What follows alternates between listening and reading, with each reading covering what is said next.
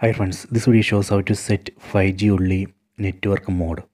Please don't forget to subscribe this channel. Please like and share the video. First go to settings, tap on the settings app icon. Go to connections. Go to mobile networks. Tap on network mode. See, it's not showing 5G only. It's showing only 3G only, 2G only, LTE only or 4G only. I will show you how we can set 5G only network mode here. So let me close this. Then go to Google Play Store.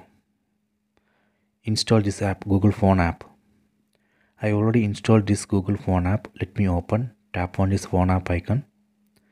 Then tap here. We need to dial one secret code. This is a secret code.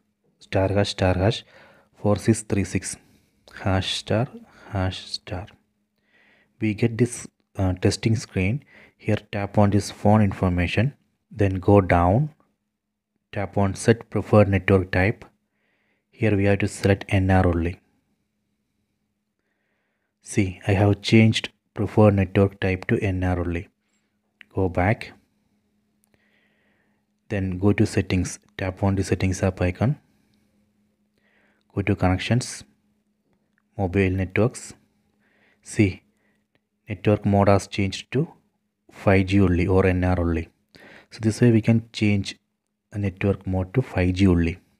If that secret code 4636 is not working then you can use one app. This is the app netmonster. Install this app uh, from google play store. This app has an option to go to phone information from there you can change network mode to 5G only or NR only without dialing that secret code 4636. I hope you have enjoyed this video. Please subscribe this channel. Please like and share the video.